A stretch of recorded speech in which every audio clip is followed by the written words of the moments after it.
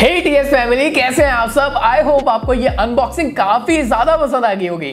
हाँ वैसे iQOO seven काफ़ी देर बाद आ गया मेरे पास बट यार टेंशन मत लो।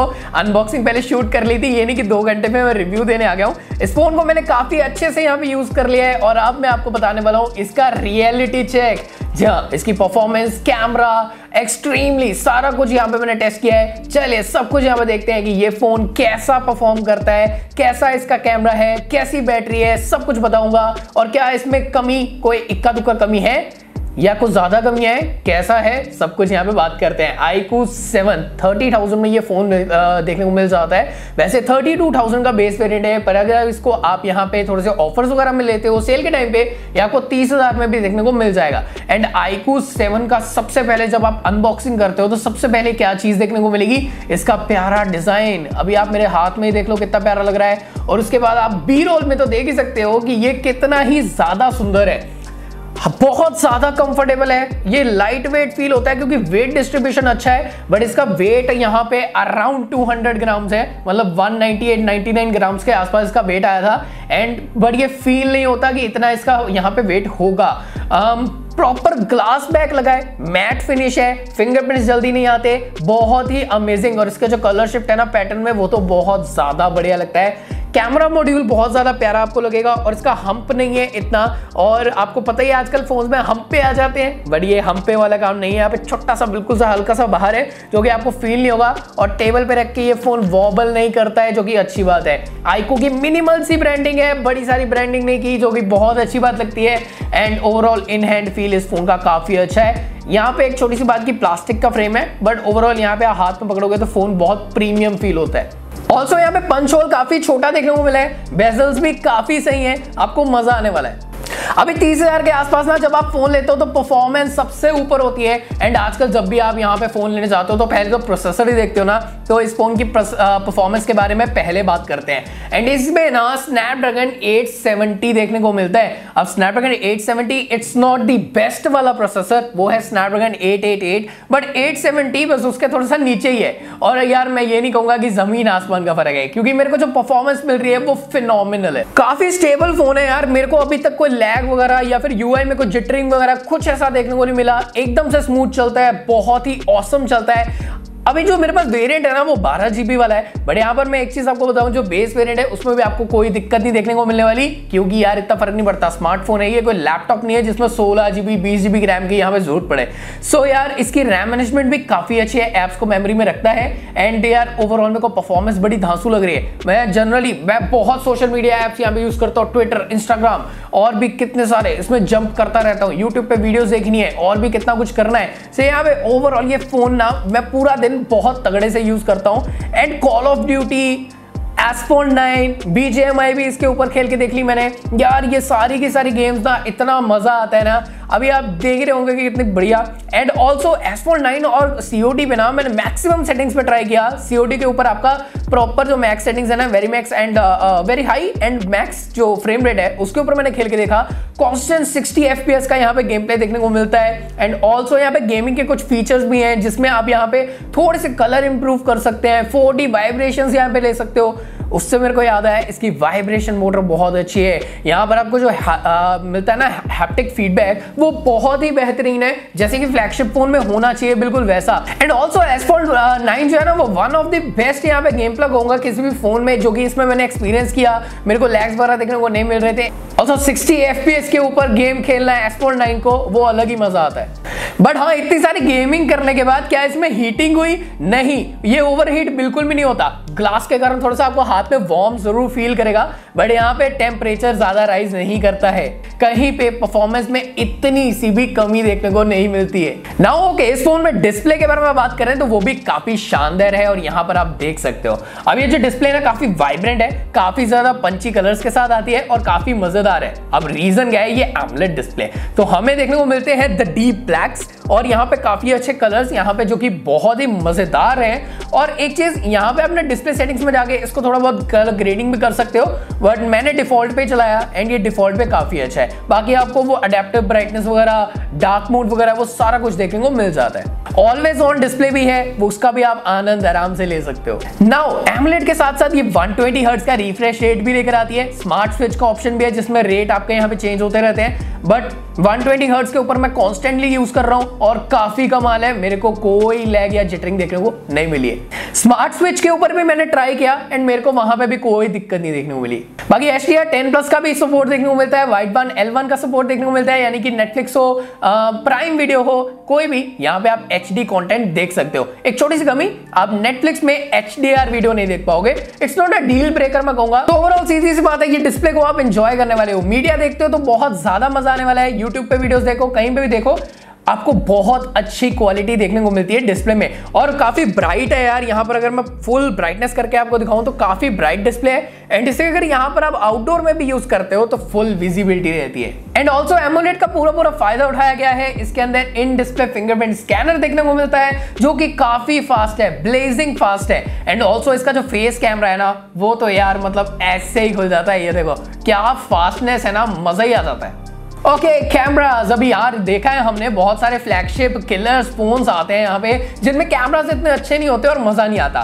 तो डेफिनेटली यहाँ पे ये भी फ्लैगशिप किलर फ़ोन है। तो इसमें हमें 48 मेगापिक्सल का ट्रिपल कैमरा सेटअप देखने को मिलता है। अभी 48 मेगापिक्सल आप सोचोगे, आजकल तो 64 108 पता नहीं कौन कौन से आने लगे हैं। बट इसमें आई एम एक्स सेंसर आता गाइस और ये काफ़ी ज़्यादा कैपेबल और काफ़ी बढ़िया वाला सेंसर है। आपको नहीं पता, आप मतलब ये मत सोचो कि 64 क्यों नहीं है। क्योंकि मेगापिक्सल से कुछ नहीं होता। सो so, यहाँ पे बेसिकली ये 12 मेगापिक्सल का कैमरा है। पिक्सल मीनिंग से 48 मेगापिक्सल कह लो या कुछ भी टेक्नोलॉजी बट यहाँ पे ये जो कैमरास है ना वो काफ़ी अमेजिंग है। यहाँ पे लगा हुआ है साथ में एक 13 मेगापिक्सल का अल्ट्रा वाइड विद यहाँ पे एक 2 मेगापिक्सल का डेप्थ कैमरा जो कि मेरे को इसकी समझ में नहीं आई दो मेगापिक्सल डेप्थ यहाँ पे ना ही देते तो भी चलता।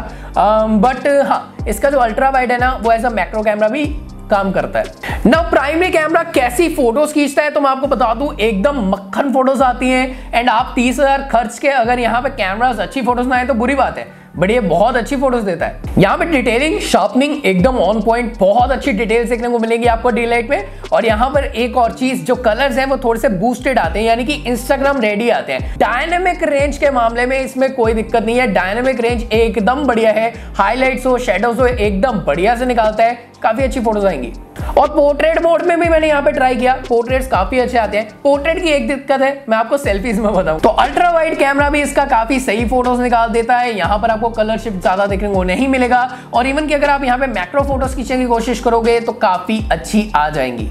जैसे कि मैं सेल्फी के बारे में बात कर रहा था सेल्फी भी यहाँ पे डे लाइट में काफ़ी अच्छी आती है। आपकी डिटेल वगैरह काफ़ी सही रहती है। बट हाँ सेल्फी में भी थोड़े से कलर्स जो है, वो बूस्टेड रहेंगे। बट अगेन यहाँ पे ना पोर्ट्रेट कई बार मिस कर देता है। आपको सामने से दिखा रहा होता है कि पोर्ट्रेट फ़ोटो खींच रहा है, ब्लर कर रहा है बट कई बार मिस आउट हो जाता है। तो वो चीज़ मेरे को समझ में नहीं आती। बट जब भी यहाँ पे पोर्ट्रेट में ब्लर आता है ना तो वो काफ़ी नेचुरल और काफ़ी इफ़ेक्टिव आता है।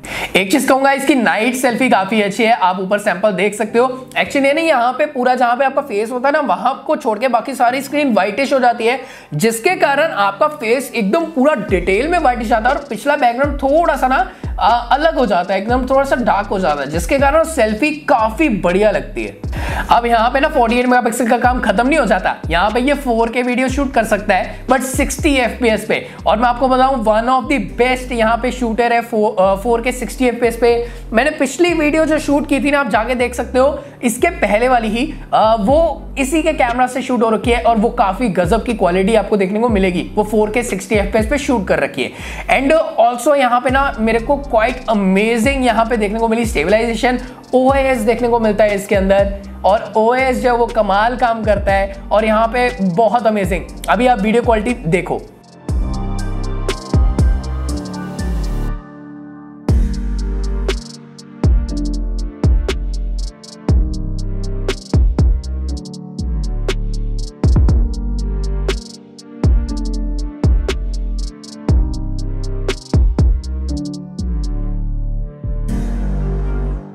ओके तो जिन्होंने पूछा था बोया माइक सपोर्ट करता है कि नहीं? डेफिनेटली करता है, बहुत अच्छा करता है, कोई दिक्कत की बात नहीं है। नाउ नेटवर्क के बारे में बात कर लेते हैं। मेरे को ये फ़ोन चलाते हुए कोई नेटवर्क का इशू नहीं देखने को मिला है। मेरे को यहाँ पे 4G प्लस भी आ रहा है अपडेट के बाद। अपडेट से पहले जो मैं फ़ोन यूज़ नहीं कर रहा था तो मैंने काफ़ी मेरे फ्रेंड से बताया था कि 4G प्लस नहीं आ रहा है। बट अब जो है अपडेट के बाद 4G प्लस आराम से आने लगा है, बहुत बढ़िया से आता है। बट ये फ़ोन जो है ना, वो 5G को भी सपोर्ट करता है तो आने वाले टाइम में आपको 5G भी देखने को मिलेगा।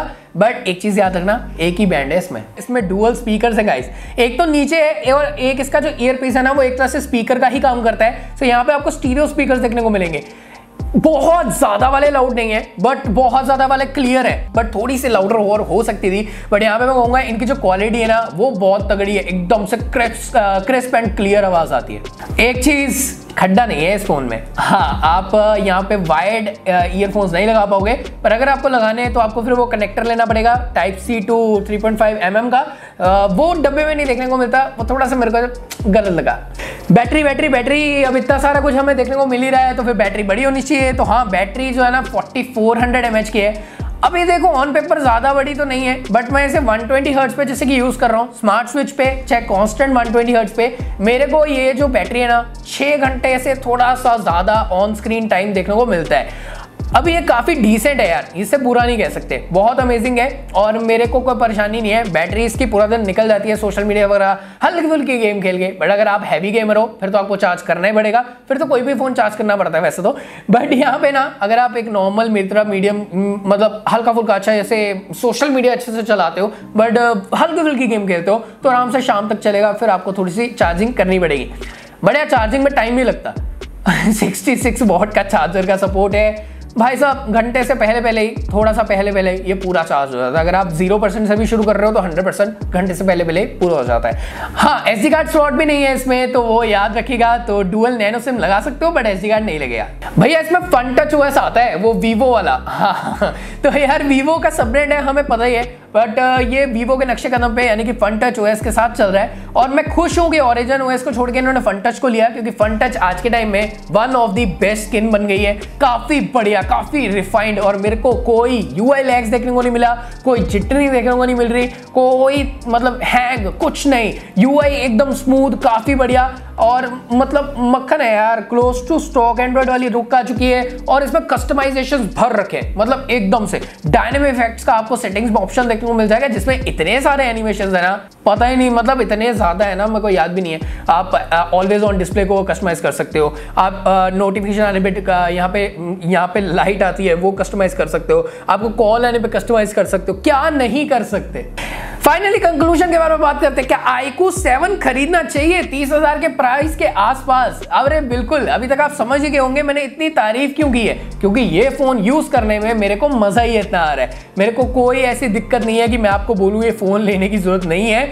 ये फ़ोन आप डेफिनेटली ले सकते हो। और ये one of the best phone है अभी इस वक्त मार्केट के अंदर। और थर्टी थाउज़ेंड के आसपास मेरे हिसाब से ऑन पेपर छोड़ो। इन रियलिटी धमाकेदार फ़ोन है ये, इसके कंपटीशन में बहुत कोई रेयर फ़ोन होगा। सो गाइज़ यहाँ पर वीडियो खत्म करते हैं। आई होप आपको वीडियो पसंद आई होगी। आगे तो वीडियो को लाइक करना एंड मैं आपको मिलूँगा नेक्स्ट वीडियो में। तब तक ख्याल रखो एंड आईको सेवन अगर आपको परचेस करना हो तो नीचे लिंक है। ज़रूर से वहाँ से परचेस करिएगा। किस Manning always check guys bye bye